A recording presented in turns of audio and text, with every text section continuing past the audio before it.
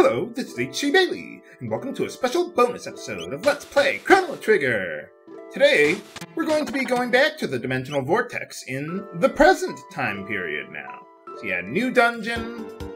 It's, I mean, it's similar to in the format of the previous one, but well, there's a lot of new treasure, new bosses and everything, so let's go check it out.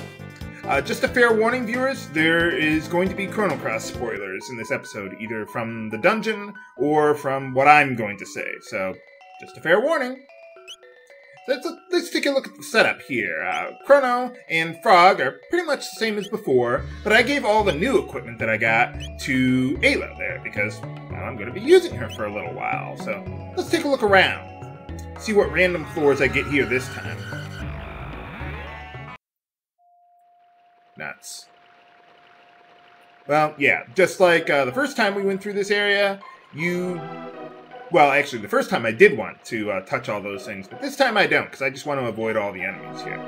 Hopefully, I will be able to get the new floor, the new unique random floor. Oh, well, there it is. That was easy. Not that there's anything really special about this particular floor but it's there. I just figured I'd want to show you what's new in here.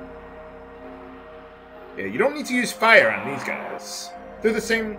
They're the same ones from uh, from the Lost Sanctum there. So you just go behind the waterfall, kill some enemies there, and you move on up. Yeah, there's no treasure in this one, unlike the last unique room, but still, it's there. It's nice to have. Huh. That's weird. I didn't get into any battles there. Huh. That's weird. I wonder why that was. Maybe I just got lucky. Oh, this again. Okay, yeah, I'm gonna need the golden stud on Crono here, because he's gonna be spamming Luminaire a lot, and I'll just meet you on the other side. Okay, made it out of there, just fought a whole bunch of battles, used Luminaire every battle, That's pretty much all you gotta do. Let's see if I can show you how to knock these guys out correctly. Wait for him to turn his back? Nuts. Okay, let's try that one again. Okay, wait for it. Nuts.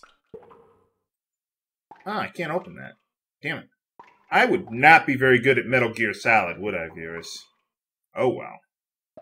I wonder what happens if I have someone other than Crono in the lead for this part. Well, at least I got one for three. It's pretty good in baseball. Okay, so we got through the first part. Uh, exit is to the left, and save point to the right, where I want to use a shelter. Get everyone, or, well, particularly Crono, back up to full there. And now I want to go back to the Dragon's Tear. That ought to be good enough.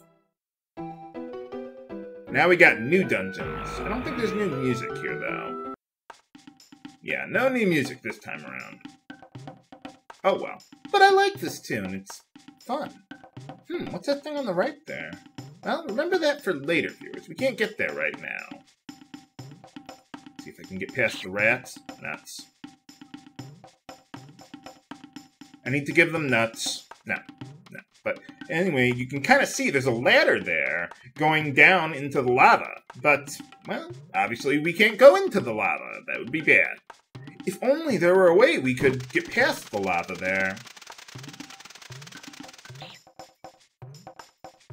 Let's see. Let's go over here. Haha! Treasure!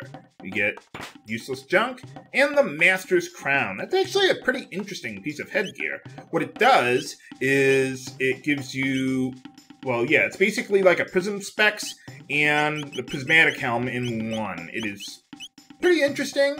Unfortunately, it shares the same slot as the, uh, what is it? As the Haste Helm. So I can't just get rid of, or I can't just get rid of that. So the Master's Crown, not so useful for me. This guy, just like the one back at last area, he has a lot of HP. So just use drop down, you can probably one-shot him. I think he has exactly 3,500 HP. I barely had enough of that one. And I'm at max strength, too. let's see, you want to go through a secret passage to get a strength capsule. And let's see, there's another one. Where is it? Ah, you go down there. Haha! -ha! Back in the Lost Sanctum here. And there we get the Dream Reaper. Dream Weaver? No. No. But uh, yeah, it's basically the same thing as the Suzaku for Magus. But I don't think I want to use that on him. I suppose I could bring him in with that and give him the Dragon's Tear. That may not be a bad idea. I'm not going to do that today, but I could.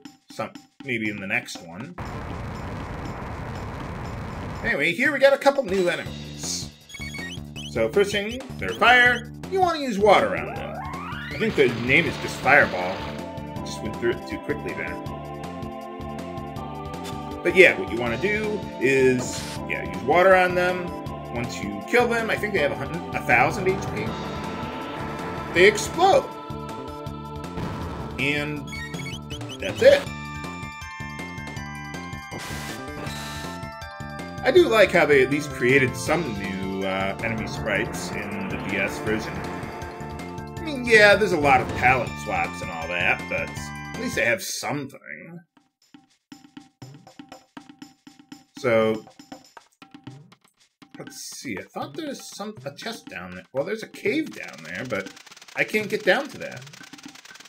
Hmm. If only there were a way I could get down to that cave there, but sadly, there is no such way. I don't think. Is there a ladder here? I could have sworn there was a ladder around here. Hmm. Maybe I'm thinking of something else. Whatever. Uh-oh. How are these guys dropping in from the ceiling like that? How does it even work? Kill those guys and go through a secret passage to get the Spell Slinger. It's a gun for Lucca there. But I think it's basically like the Crisis Arm, I would think. But it doesn't have the speed boost, so and she's never really going to attack anyway. So I don't think that's really that good. Not to mention, guns are based on base their damage on the hit stat, and there's no way to max that out like with a capsule or something. So yeah, it's kind of pointless. If if I wanted to do something like that, I'd use the crisis arm or another weapon for Robo that we'll get soon enough. Viewers, soon enough. Not in this dungeon though. But anyway, you climb up here. Another strength capsule that I will never use. Uh, I suppose I could use them on Lucca and Marle. Not that strength would ever do anything for them, I don't think. I don't think strength is used in any of their damage calculations. Well, whatever. Can never have enough elixirs. Awesome. So anyway, once you get all the way around here, we're right back on the first map there. You can see we've completed the stuff to the left there. I don't want to hit the switch. Yes. Yeah, you have to hit the switch. And what that does is it drains all the lava here, including in the next area. So that'll be useful.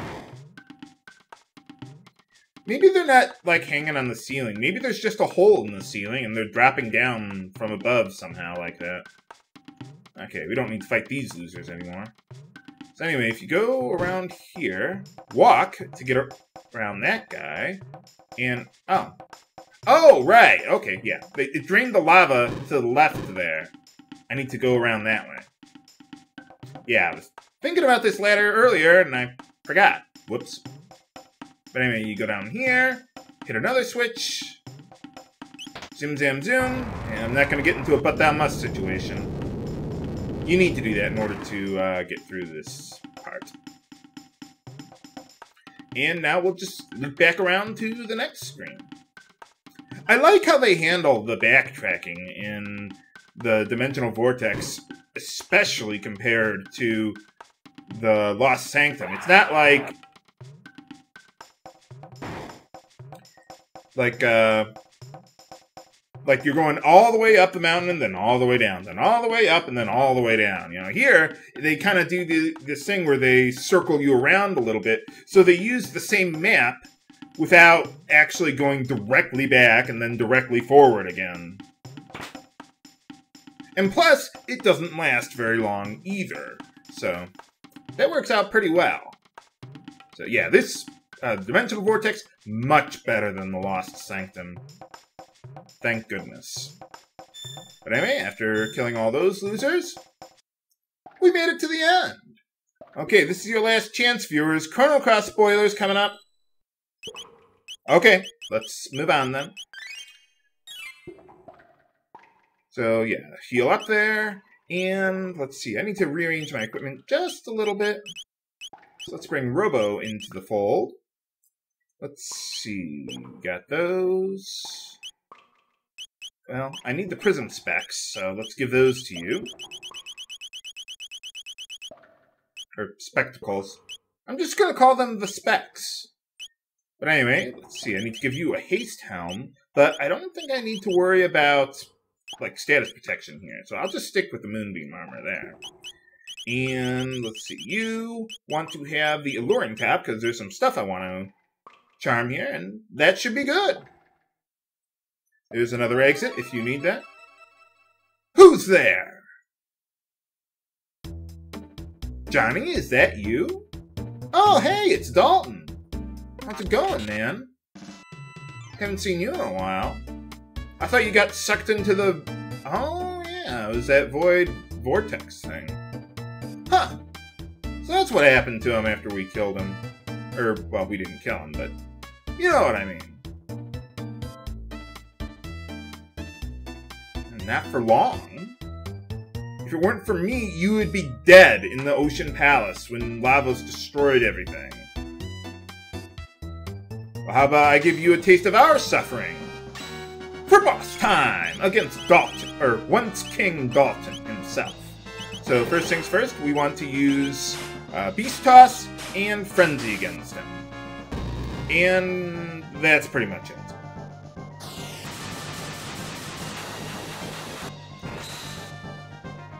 So yeah, the thing here is...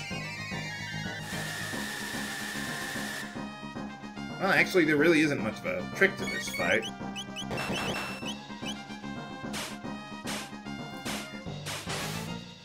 But I like how they uh, bring in Dalton in this area to explain what happened to him after our fight with him, as opposed to just letting him get sucked in there and that's it.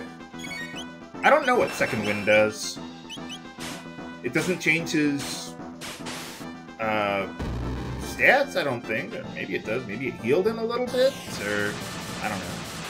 What is this, Breath of Fire? No. No, only one boss here has Second Wind. I think it is over, Dalton. Whee! Sour grapes? I'm gonna grape you in the mouth! No. No, that's something else. But anyway, alright, we got him. What do you mean by that?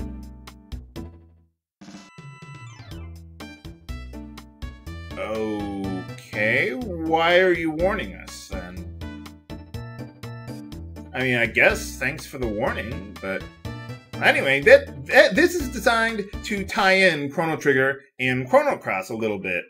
Uh, I don't think it's ever stated in the original Chrono Trigger or Chrono Cross, but at least from what I heard, like from some interviews and outside sources with the guys who wrote the story or whatever, they say that uh, Dalton uh, helped Porre raise that army, and invaded Guardia, which is why Porre is a military power in Chrono Cross, and why Guardia isn't doing shit then.